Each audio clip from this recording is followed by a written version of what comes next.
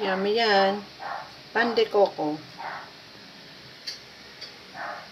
And for the ham and cheese.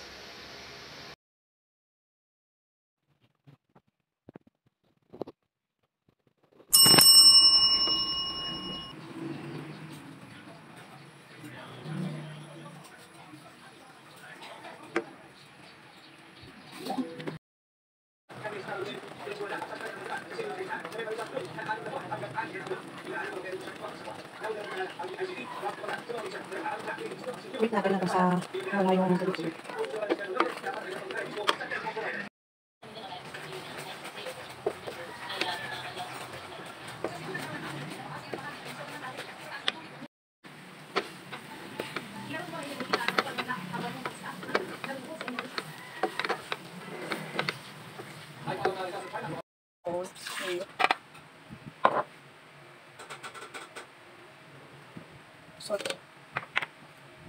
flour.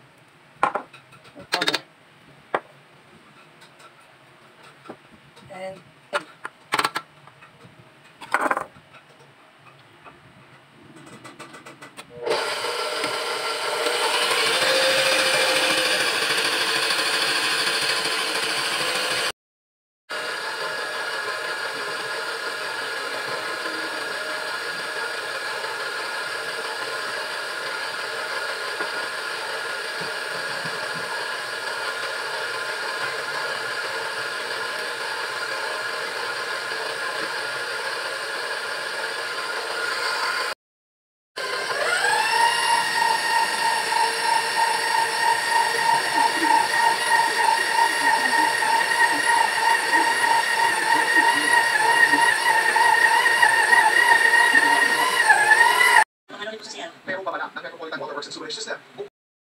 Ang compound sa minsan ng sirkulara. Ayaw kasi sila papasukin ng guardia ng compound. Nagsasagawa ba ito ang station ng pakiki o iligal na pag-refill ng mga tangke. Kaya wala ang tangke ng LPG ang kumpiskado.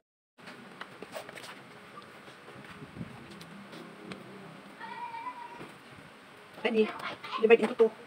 For and cheese and pan de coco. Rest for 1 to 2 hours until double size. Yummy yan. Pan de coco. And for the ham and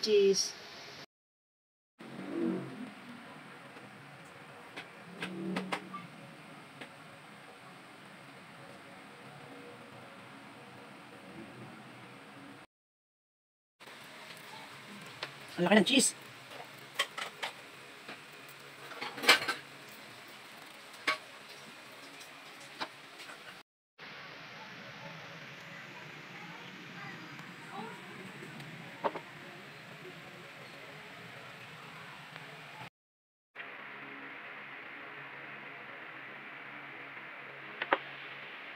Mas marami, mas masarap.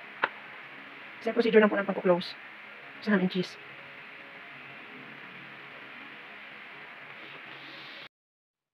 Yung nagagawa ng tinapay, kinakamay, dapat malinis po talaga ang kamay. Hmm. Malinis ang kamay, malinis ang kuko. Para perfect, pakalinisan.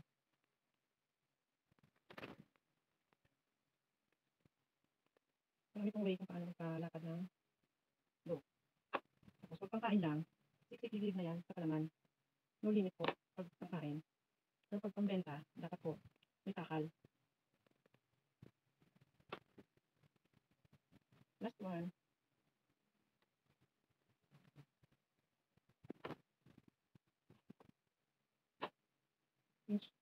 end to end para mag-close. Perfect.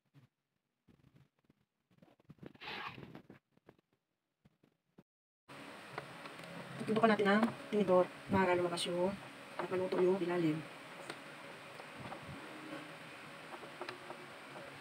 Ganyan lang po. Sa kanil ko.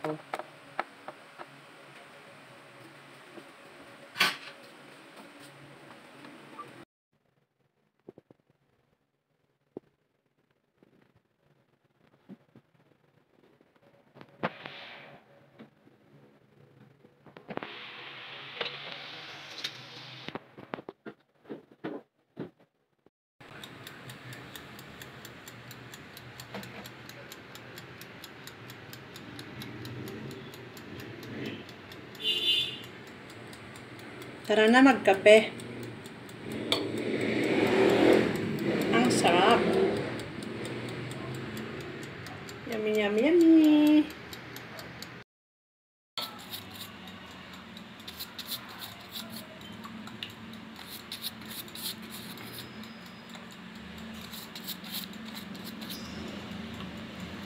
kailangan ni egg wash para perfect yung output niya.